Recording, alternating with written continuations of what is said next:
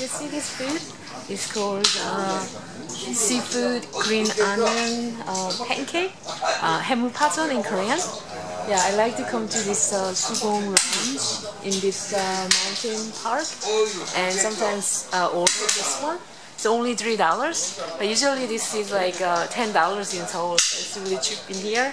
And the lady here who runs this uh, round sugar cafe, yeah, uh, her and her husband is running this place, and I like them a lot.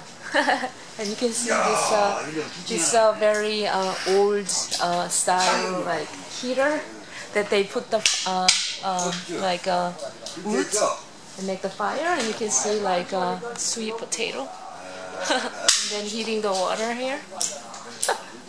anyway, yeah, she's an amazing lady, I think. Um, yeah, I heard, I overheard last time that there was some man here coming and she's uh, giving him some food or something and uh, he went to hospital and he's concerned about her business, if her business is doing well or not. Because she, you know, that the thing like people who, who care about you and genuinely and other people can feel that, right? So, uh, yeah, she has a good heart.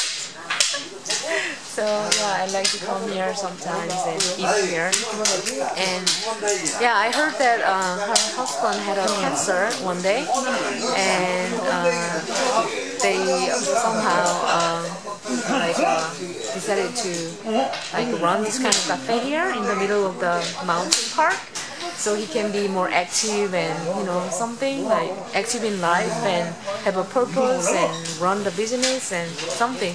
Like anyway i love her. I love i heard she's very um like self-motivated and entrepreneurial mind lady. And i wanted to share.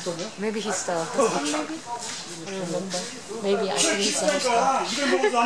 nice couple yeah, little bit about this uh, Subong Lounge at the Subong Mountain.